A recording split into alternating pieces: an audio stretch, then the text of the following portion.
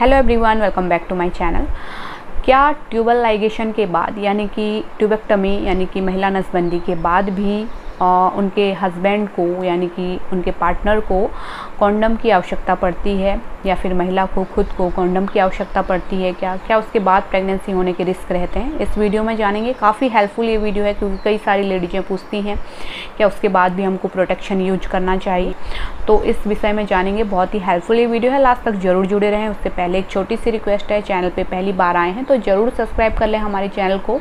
साथ में notification bell को भी दबाएँ, जिससे कि आने वाले वीडियोस के नोटिफिकेशन आपको मिलते रहें। तो चलिए टॉपिक के ऊपर बात कर लेते हैं। अगर आप ये सोच के कॉन्डम यूज़ कर रहे हैं कि प्रेगनेंसी ना लग जाए तो इसका आंसर मैं दूँगी। इसमें आपको प्रेगनेंसी नहीं होगी। अगर आपका ट्यूबलाइजेशन सही तरीके से हुआ है तो यानी कि नसबंदी अगर आपको सही तरीके से हुई है आपकी तो उसके बाद आपको कोई भी कॉन्डम की, कोई भी प्रोटेक्शन की, कोई दवाई की, कोई इंजेक्शन की ज़रूरत नहीं पड़ती है प्रेगनेंसी से बचने के लिए।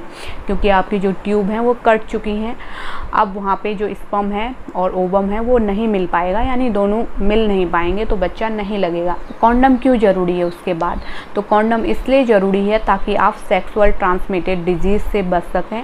क्योंकि इन्फेक्शन तो कभी भी हो सकते हैं भले ही आपका ट्यूबल लाइगेशन हुआ हो या फिर नहीं हुआ हो इन्फेक्शन होने के चांस तो रहते ही हैं कभी भी हो सकता है इन्फेक्शन तो इससे बचने के लिए आप कॉन्डम का उपयोग कर सकती हैं। अगर आप सोच रही हैं कि प्रेगनेंसी ना हो जाए तो ऐसा नहीं होता ट्यूबल लाइगेशन के बाद कोई प्रेगनेंसी नहीं होती। तो आई होप ये छोटा सा वीडियो आपके लिए हेल्पफुल रहा होगा इन्फॉर्मेटिव रहा हो तो लाइक ज़रूर करें शेयर करें और हमारे चैनल को ज़रूर सब्सक्राइब करें ऐसे ही हेल्पफुल वीडियोज़ देखने के लिए। इंस्टाग्राम फेसबुक पर भी हमें अपने सवाल कर सकते हैं लिंक आपको नीचे डिस्क्रिप्शन में मिल जाएगा। तो चलिए फिर मिलते हैं किसी और इंटरेस्टिंग वीडियो के साथ। Thank you thanks for watching